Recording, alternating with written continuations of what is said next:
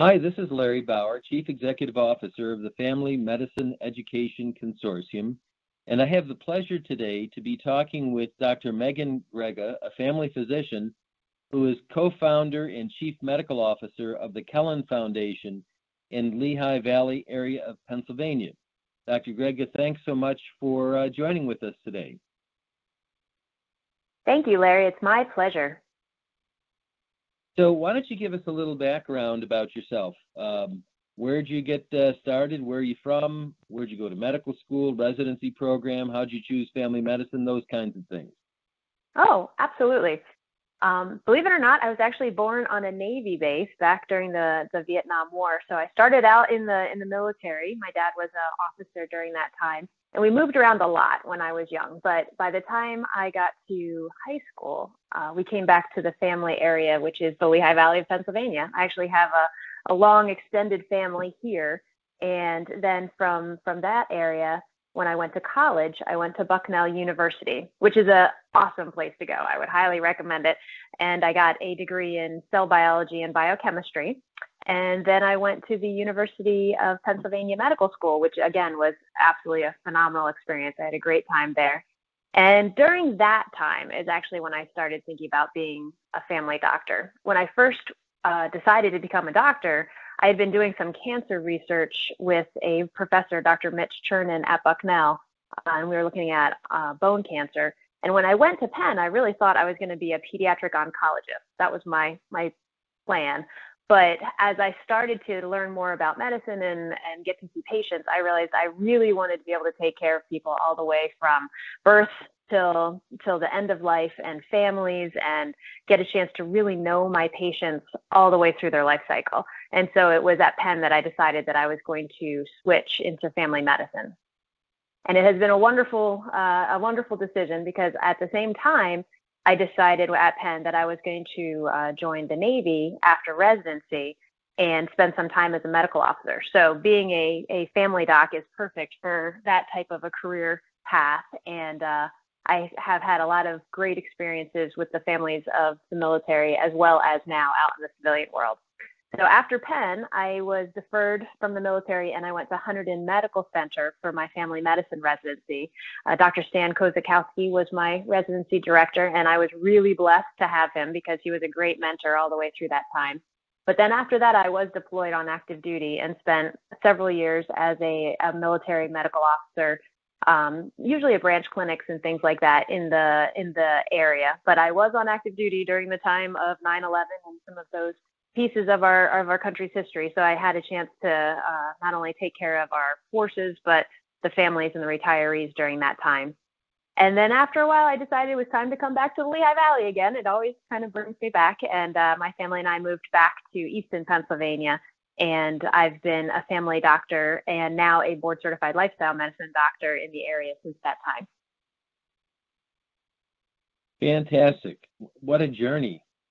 Can you tell us about it's been exciting. The, uh, I can tell. Uh, I can tell from uh, the way you're talking.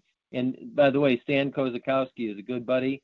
Uh, he's also past uh, president of our organization. So we were together just a few weeks ago and we had a nice chance to uh, uh, spend some time talking. So he's doing, he's alive and well. Yes, I've been very so, happy to know that.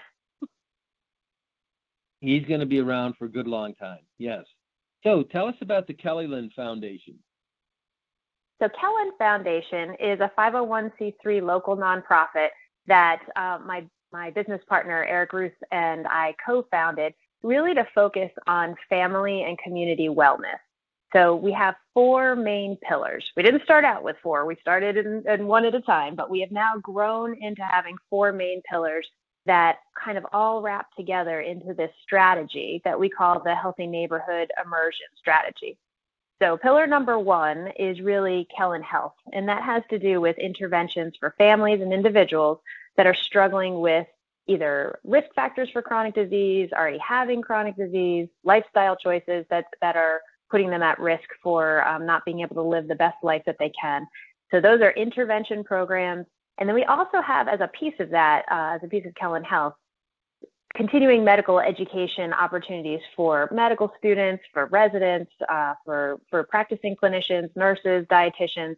And we most recently actually hosted the inaugural Lehigh Valley Lifestyle Medicine Symposium just a couple weeks ago that was really focused on for all of us how can we make the lifestyle choices and how can we help our patients make the lifestyle choices that are going to lead to the most uh, longevity, vitality, and, and decreased risk of chronic disease.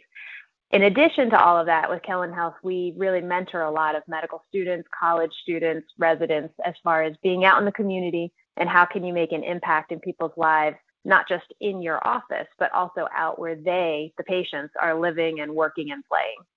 So Kellyn Health is pillar number one. Pillar number two is Kellyn Schools.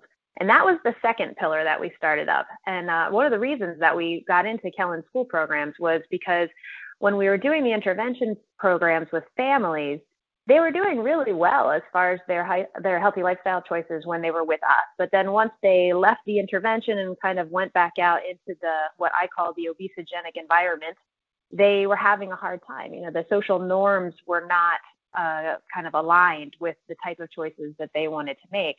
So I was the doctor on the Easton Area School District Wellness Council, which I still am, but this was probably about 10 years ago. And I said, why don't we go into the schools and try doing this in, try do some education in the schools and see if we can kind of shift the culture to make what we always like to say the healthy choice, the easy choice. So luckily, with me being the doc on the Wellness Council, they said, sure, go ahead. Why don't you do that? So Kellyn Foundation developed a uh, kind of consecutive curriculum for third, fourth, and fifth graders that are in classroom presentations that are very interactive, very hands on, and we teach the kids very practical skills. So we'll go in, and in third grade, our presentations are called Eat Real Food. And it's all about eating fresh fruits, vegetables, whole grains, nuts, and seeds, uh, and kind of what counts as a real food. So unprocessed foods as much as possible. We play detective games and talk about being a food detective and pick, okay, if I have here a picture of oatmeal with some strawberries and blueberries on it, and then over here I have a bowl of a sugary breakfast cereal that's fluorescent colors.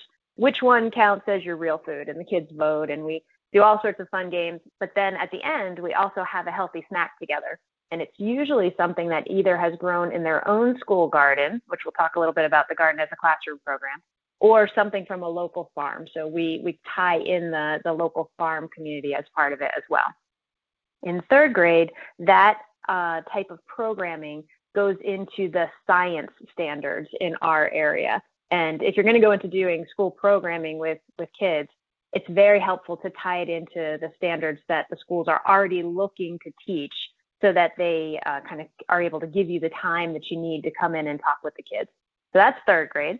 And then in fourth grade, we do healthy choices, which is all about the red, yellow, green label reading system. So we, we teach them about nutrition labels and percent of calories from sugar, um, grams of fat per serving, and then talk about where does it fall. If something like a food comes in a box or a bag, how do you decide whether it's healthy for you and how can you interpret the nutrition label?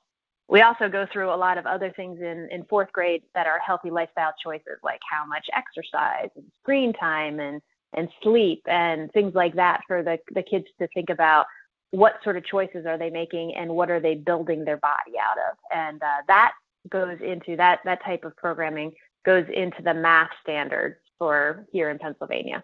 And then in fifth grade, we do eating out survival skills. So kids are getting old enough that they're going to parties and hanging out with their friends, maybe going out to some of the, the restaurants in the area. So we go on a virtual tour through a lot of restaurants, a lot of different uh, fast food and, and other organizations, and then talk about here's some choices, you know, because we all want to go out and have a good time with our friends.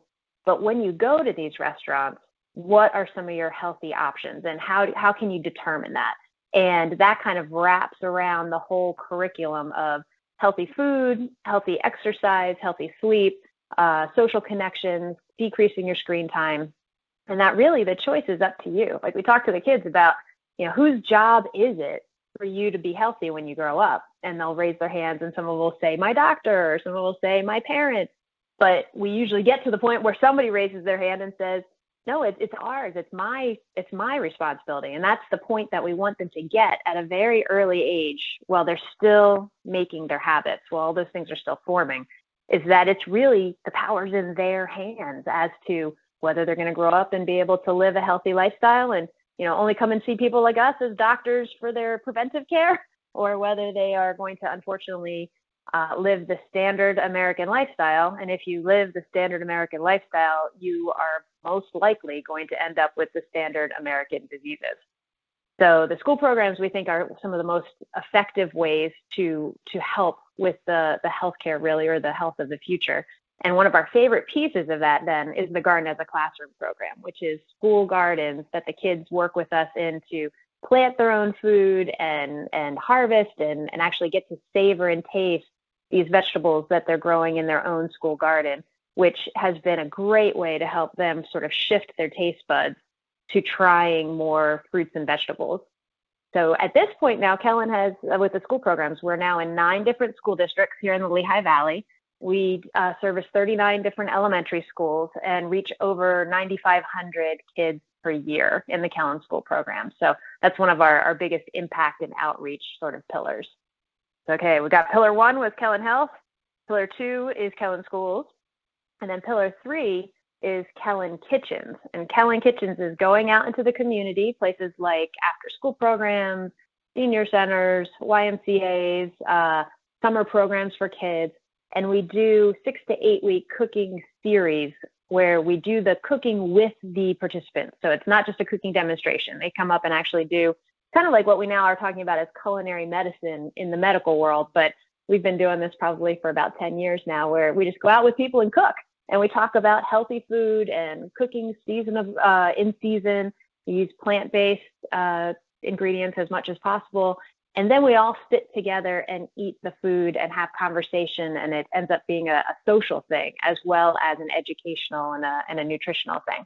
And we give people the recipes in english and spanish and then we go back and see them next week and see what did they try in their own kitchen. And they they really start to form a group. Usually it's kids and their parents or sometimes it's grandparents sometimes it's whole families. But they really start to form a support group in eating healthier because they're they're all doing it together. So that's been another very effective intervention. Um, i think we as doctors so often tell people to eat healthy but we don't really do it with them and we don't really explain it in a way or help them experience it in a way that they can actually integrate it into their lives. And then our fourth pillar is Kellyn food access.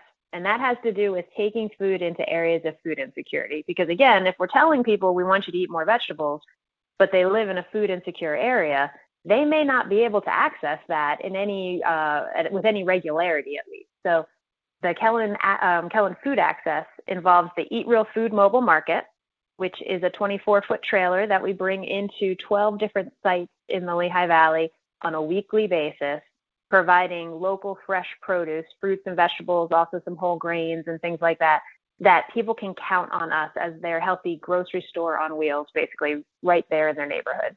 And we accept cash, but we also do credit and debit cards, the EBT SNAP card, and we also accept the FM uh, NP WIC vouchers for seniors and, and for WIC for, for women, infant, and children.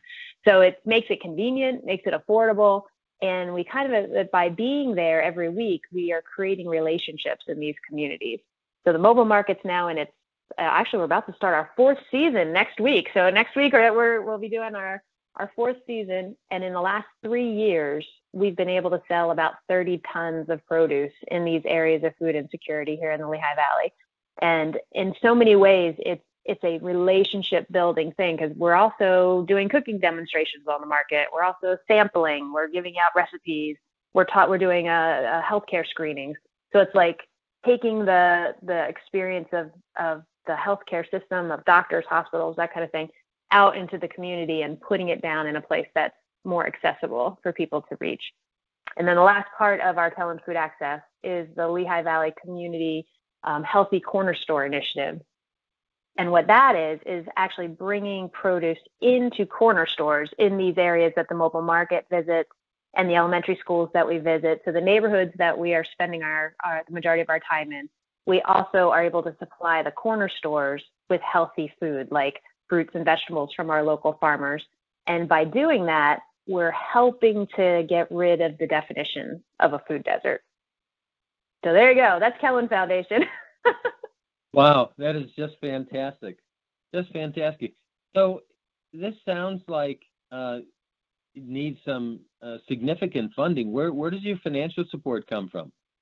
Oh, that's an excellent question. So Kellyn Foundation has just finished our 12th year. And so we did not start out anywhere near to the size that we are now. So when we first started with the intervention program, really my co-founder and I self-funded it so that we were able to kind of prove the concept and and build it the way that we thought it would be most effective.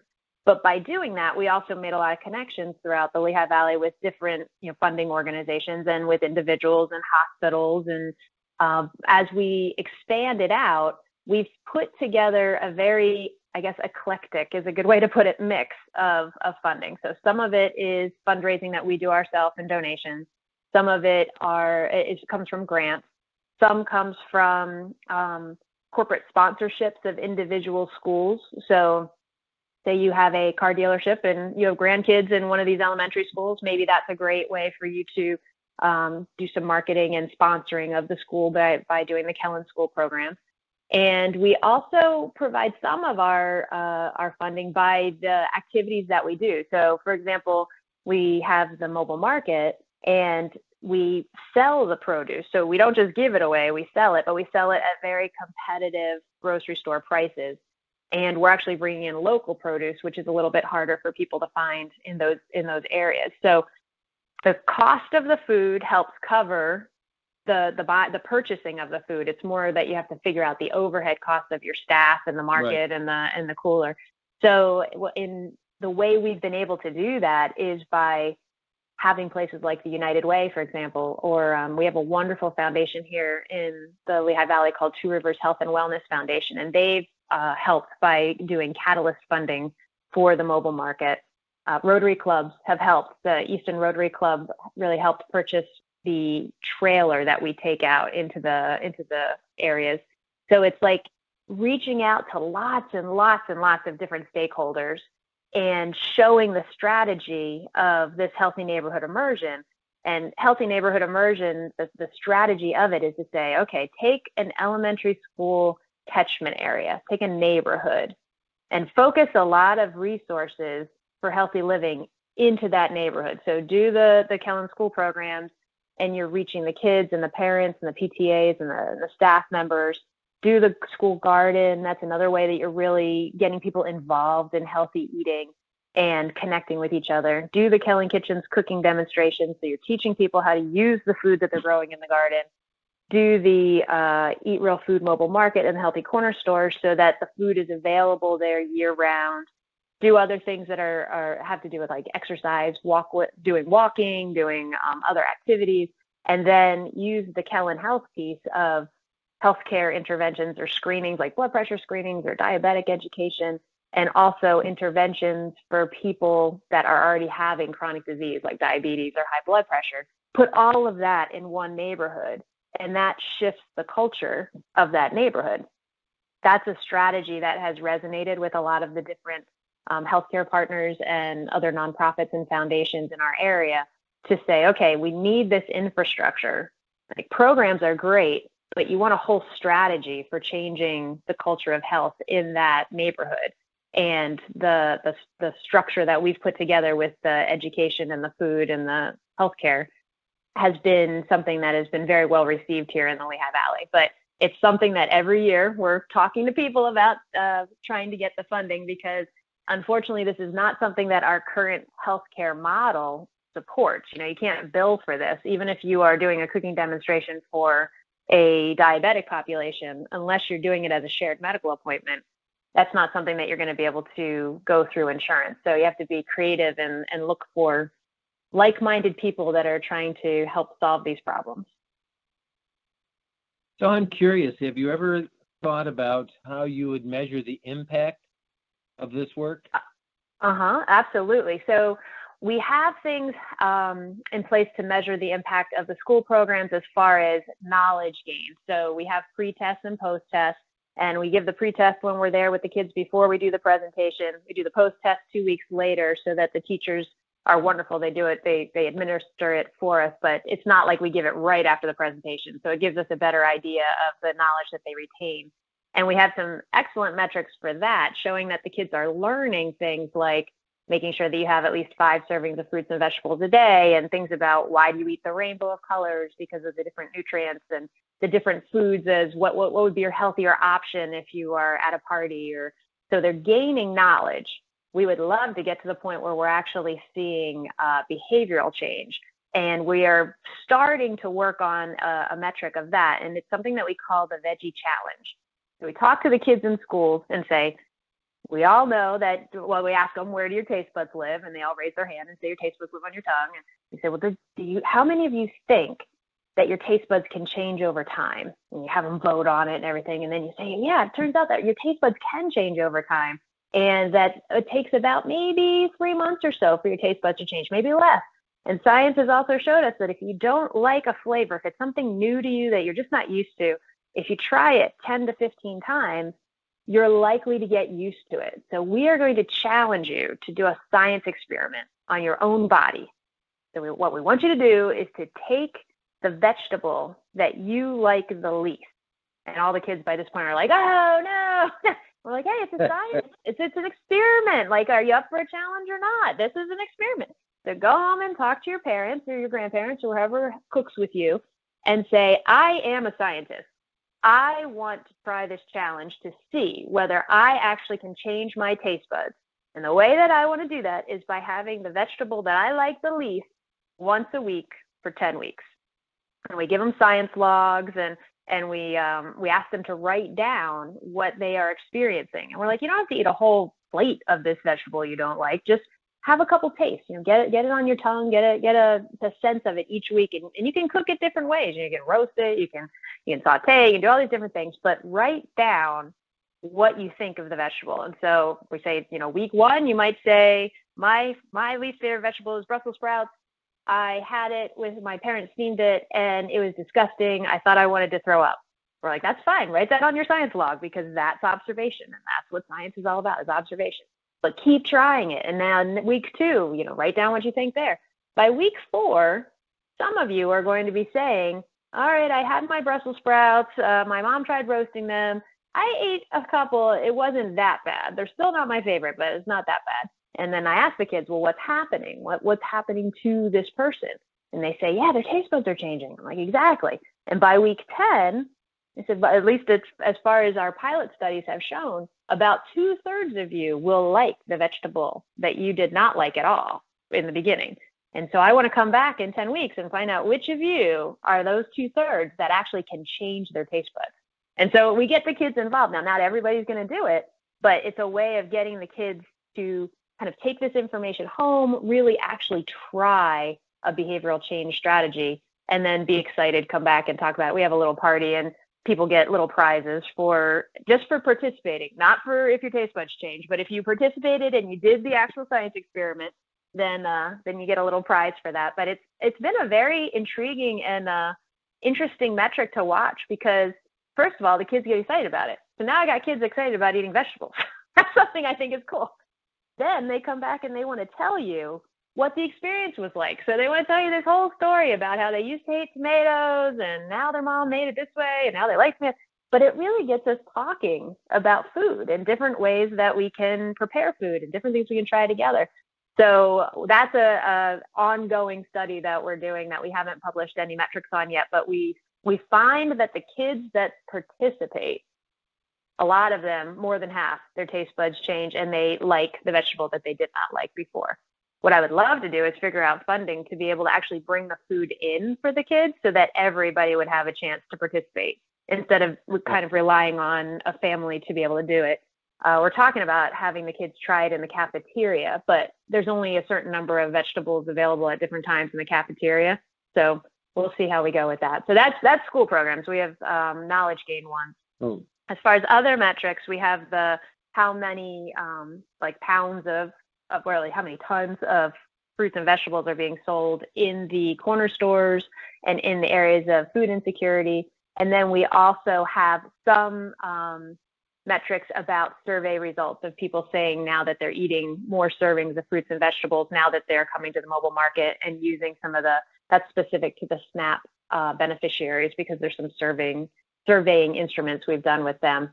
But I think some of the best stuff that we get really is anecdotal stuff. You know, patients that are coming to the market and they tell us that you know it's it's their choice to tell us because it's it's we're not their doctors, but they tell us about their diabetes or their hypertension and and we hear many stories of patients being able to decrease their diabetes medicine or get off their diabetes medicine or decrease their blood pressure because they're coming and eating more fruits and vegetables and using the the recipes that we're giving so some interesting inclinations or at least uh, interesting uh, ideas that these are probably making a big difference in patients' lives.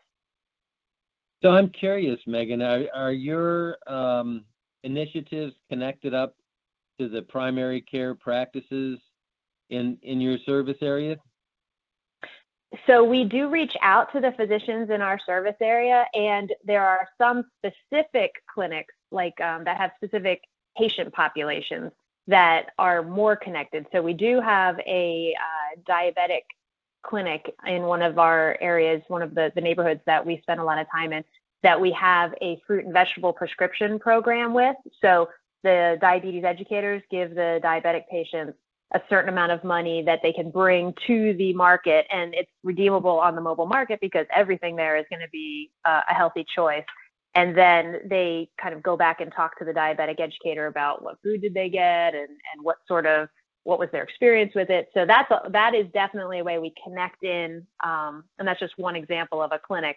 But it's kind of letting the the docs know and the other clinicians know that right. we're in the area and that's something that we've been working on over the past three years and has definitely gotten more integrated now that we're going into our fourth season so that we send out our uh, site schedule list to a lot of the doctors' offices that are nearby where our mobile market sites are.